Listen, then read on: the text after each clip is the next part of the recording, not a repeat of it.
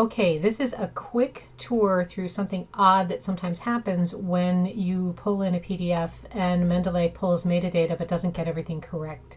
Um, so what we're looking at here is my unsorted files and I'm going to click on this reference up here that has some characters in a foreign language and NIH public access. So in looking at this, it's a little hard for me to tell where I'm going to file the article and I'm clearly getting a author or an, an author here um, but I need to figure out what the article is about. But if I go down to the files that are attached and click on this, it gives me a completely different article. So what I'll need to do is figure out, it's possible that this article got misnamed in, in kind of handing it off to the folks that I was working on a review with.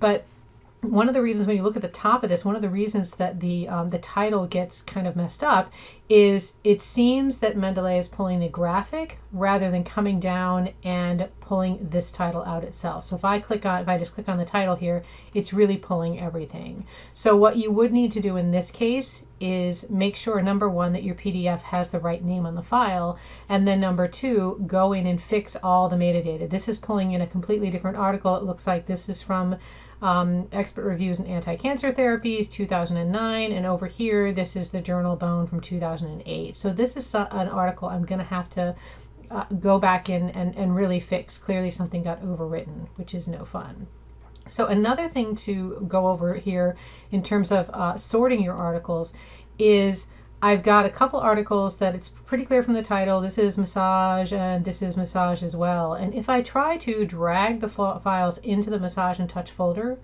um, if they go, then that means there's probably no duplicate. And if they don't go, that might mean that there is. So in this case, both of them went into the folder. So I'm going to pop over here to massage and touch and I can use my tools to check for duplicates just in this folder just to see if anything got pulled over and indeed is a duplicate. So what's interesting is that one of the articles uh, that I just mentioned shows up here.